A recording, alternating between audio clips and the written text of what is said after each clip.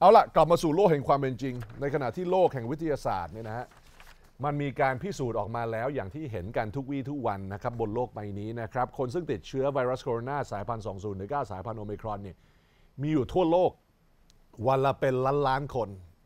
เสร็จแล้วในเมืองไทยเนี่ยนะฮะเป็นประเทศซึ่งไม่ยอมเจริญรอยตามประเทศแถบสแกนดิเนเวียฮะไม่เป็นไรผมชอบผมชอบอยู่อย่างอย่างที่มันเป็นอยู่ในประเทศไทย แต่ว่าสิ่งนึงที่ผมไม่ชอบเนี่ยนะ ผมไม่ชอบความพยายามในการที่จะกอดกอดเชื้อโรคอะทำอย่างกับว่ามันเป็นเรื่องซึ่งเป็นภัยคุกคามเนี่ยนะทั้งทั้งที่เมื่อติดเชื้อเนี่ยนะฮะอาการมันเปรียบเสมือนหวัดเนี่ยนะฮะแล้วคุณต้องให้กี่คนพูดวะคุณต้องให้หมอสันใจยอดเสนพูดหมอมนูนพูดสองคนนั้นอ่าไม่เชื่อ ไม่เชื่อ ไม่เชื่อ ไม่ได้ ปล่อยให้ลูกไปโรงเรียนไม่ได้ปลื้มพูดก็ไม่เชื่อไอ้ปลื้มมันบ้าไม่เป็นไรอ่าเอาเอาสื่อกระแสหลักเลยไหม อ่าผมให้ดู headline นี้ อันนี้ผมดึงมาจาก Manager ผมไม่ได้ค่อยได้ใช้เวลาในรายการนี้นั่งชมผู้จัดการบ่อยนะ ทุกคนก็รู้ แต่ว่า Manager พาดหัวอย่างนี้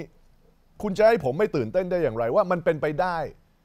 ว่าเดี๋ยวพอมีผู้ปกครองซึ่งใส่หน้ากากสองใบ แล้วก็จะยอมให้ลูกไปเรียนที่โรงเรียน แล้วเดี๋ยวจะไม่ไปกดดันโรงเรียนให้คอยปิดโรงเรียนเวลามีการติดเชื้อหนึ่งคนแล้วโอ้โห ต้องปิดทั้งชั้นอะไรอย่างเงี้ยลองอ่าน headline ของ Manager ในประเด็นนี้ฮะ headline ของ Manager สื่อกระแสหลักที่สุดในเมืองไทยก็ว่าได้เป็นต้นน้ำของหลายประเด็นทุกอย่าง ซึ่งคนสนทนากันเนี่ยเป็นเว็บข่าวซึ่งคนยังไงยังไงก็เข้าเยอะเนี่ยนะฮะเขียนพาดหัวว่าอย่างนี้ คุณอ่านดูเองเลย ถ้าคุณไม่เคยเชื่อปลื้มไม่เชื่อแม้กระทั่ง Bill Gates ใช่ไหม Bill Gates บอกว่าโอมิครอนดีกว่าวัคซีนไม่เชื่อเอาไม่เป็นไร ไม่เชื่อหมอมนูญ ไม่เชื่อหมอสันต์ ใจยอดศิลป์ไม่เชื่อใครใดๆทั้งสิ้น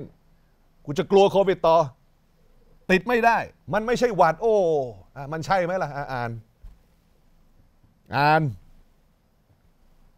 มันคือหวัด โอ้ไม่ใช่หวัด มันแค่อาการเหมือนหวัด เนี่ยฮะฟรีสเฟรมให้ดูเลย เด็กติดเชื้อโอมิครอน อาการเปรียบเสมือนหวัด เฮ้ย มั่วมาจากไหนวะไม่ได้มั่ว โรงพยาบาลเด็ก โรงพยาบาลเด็กทำไมชื่อเด็กอะมีโรงพยาบาลนี้จริงไหมอ๋ออ๋อมูลนิธิโรงพยาบาลเด็กกองทุน อาคารเฉลิมพระเกียรติเพจ Facebook ฮะอย่างเป็นทางการ ผู้ปกครองเข้าใจจะได้ช่วยลดความกังวลไปได้ ว่าเมื่อเด็กติดเชื้ออาการเปรียบเสมือนหวัดอาการน้อยหรือแทบจะไม่มีอาการ อาการน้อยมีไข้มีบ้าง 3 วันถึง 5 วันหาย